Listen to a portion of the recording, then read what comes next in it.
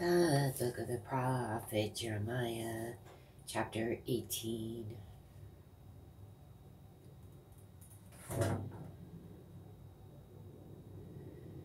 The word which came to Jeremiah from the Lord, saying, Arise and go down to the potter's house, and there I will cause thee to hear my words.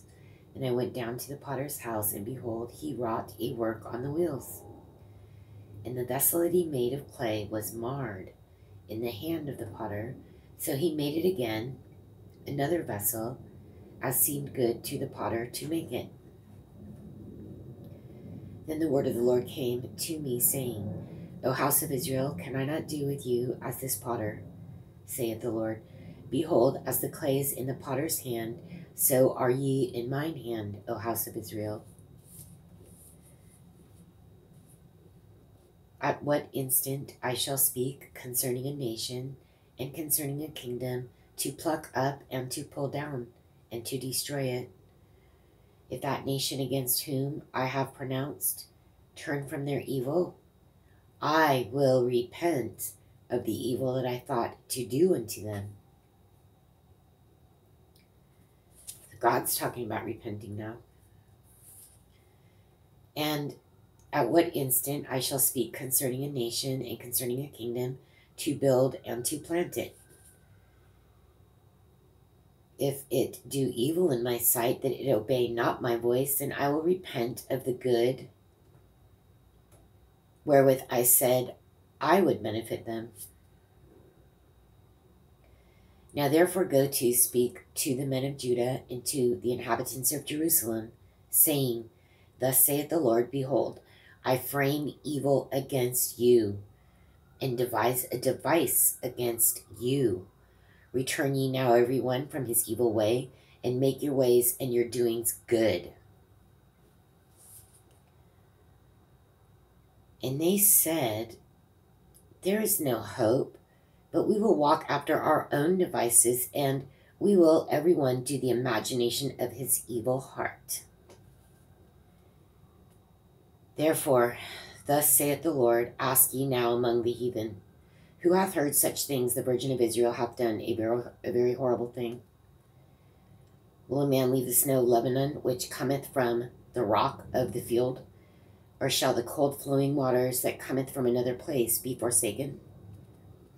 Because my people have forgotten me, they have burned incense to vanity, and they have caused them to stumble in their ways from the ancient paths to walk in paths in a way not cast up, to make their land desolate and a perpetual hissing. Every one that passeth thereby shall be astonished and wag his head. I will scatter them as with an east wind before the enemy. I will shew them the back and not the face in the day of their calamity.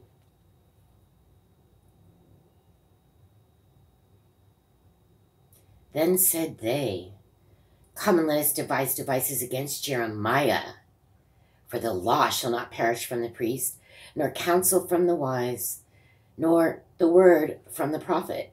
Come and let us smite him with the tongue, and let us not give heed to any of his words.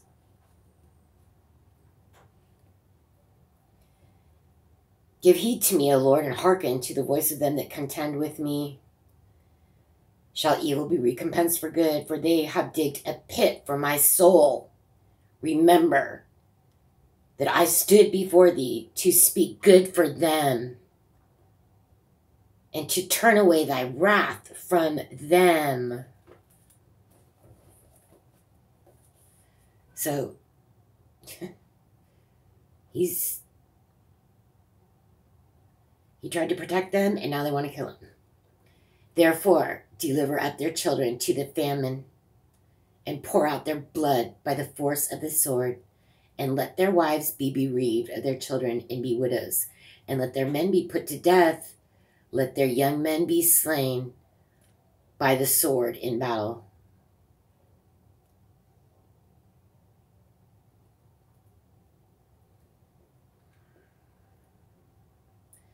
Let a cry be heard from their houses when thou shalt bring a troop suddenly upon them, for they have digged a pit to take me and hid snares for my feet. Yet, Lord, thou knowest all their counsel against me to slay me. Forgive not their iniquity, neither blot out their sin from thy sight, but let them be overthrown before thee. Deal thus with them in the time of thine anger. Does that sound like that's the end? Does that sound like he's a crying prophet? A weeping prophet? No. Let's go back, right? So he wakes up one day, Lord's like, um, yeah, I'm gonna use you, go over here. And he's like, Lord's like, do not be dismayed at their faces. We haven't had any problem with that. He's been doing everything he's been asked to. And at this point, yeah, they're just trying to kill him now. They're like, oh yeah, we want to, we're going to smite him with the tongue. Well, that just seems like they're just going to say horrible things to him. But now they've digged a pit for his soul. Now he's realizing that. And he says, yeah, you know, I came and I stood up for them. I spoke for them. I asked for help for them. And now they want to kill him. And so now he's like, you know what? Guess what? This last verse. Um, Lord, you know all of them are against me to kill me, right? Yet, Lord, thou knowest all their counsel against me to slay me. He says, you know what? Don't, don't forgive them anything. Don't forgive. Don't blot out their sins. Don't forgive their iniquity. Let him be overthrown before you. Deal with them that way. I'm on your side. They're they're just horrible. They're intractable. Forget it. I don't want to help them. Because they're trying to kill him now.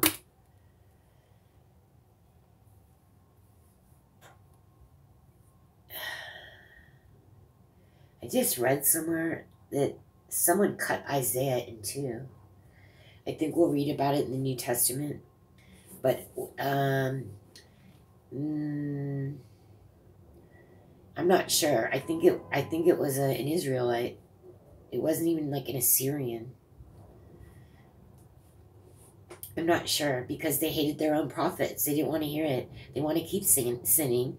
They don't want to hear that um, they're not following God. They're not thinking about Him. That they're only after their own heart their minds are constantly on evil. Okay, let's see what happens. Chapter 19. Thus saith the Lord Go and get a potter's earthen bottle and take of the ancients of the people and of the ancients of the priests and go forth unto the valley of the son of Hinnom. Remember that? That's not a good place, right? That's where Topheth and like Gehenna are, right? Because I just read that. That's what I remember which is by the entry of the east gate. And proclaim there the words that I shall tell thee, and say, Hear ye the word of the Lord, O kings of Judah and inhabitants of Jerusalem. Thus saith the Lord of hosts, the God of Israel Behold, I will bring evil upon this place, the which whosoever heareth, his ears shall tingle. Because they have forsaken me and have estranged this place, and have burned incense in it unto other gods, whom neither they nor their fathers have known, nor the kings of Judah, and have filled this place with the blood of innocents. They have built also the high places of Baal, to burn their sons with the fire for burnt offerings, unto Baal, which I commanded not, nor spake it, neither came it into my mind.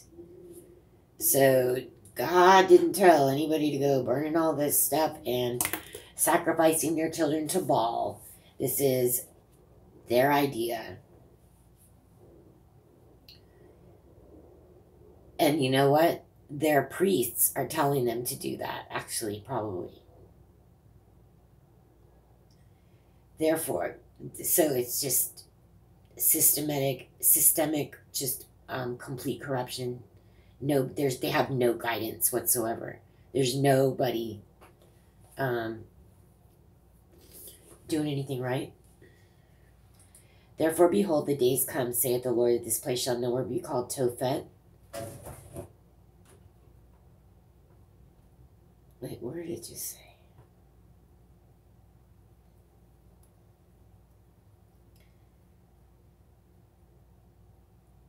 Or did it just okay? The second verse and go forth into the the valley of the son of Hinnom. Okay, six. Therefore, behold, the days come, saith the Lord, that this place shall no more be called Tophet, nor the valley of the son of Hinnom, but the valley of slaughter.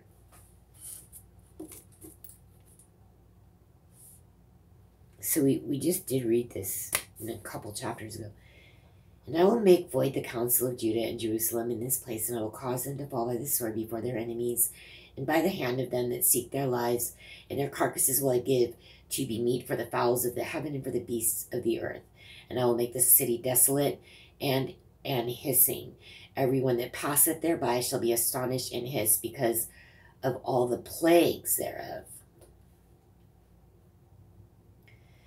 And I will cause them to eat the flesh of their sons and the flesh of their daughters, and they shall eat every one the flesh of his friend in the siege and straitness, wherewith their enemies that they shall seek lives shall straiten them. Then shalt thou break the bottle in the sight of the men that go with thee, and shall say unto them, Thus saith the Lord of hosts, even so will I break this people and this city as one breaketh a potter's vessel that cannot be made whole again, and they shall bury them in Tophet, till there be no place to bury. Thus will I do unto this place, saith the Lord, and to the inhabitants thereof, and even make this city as Tophet.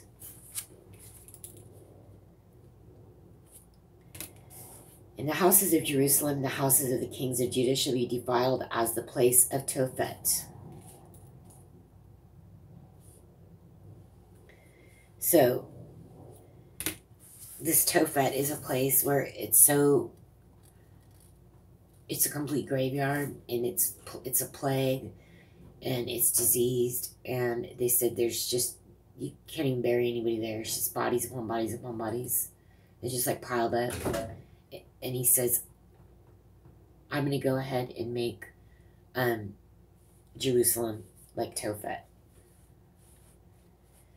because of all the houses upon whose roots they have burned incense unto all the host of heaven, and have poured out drink offerings unto other gods.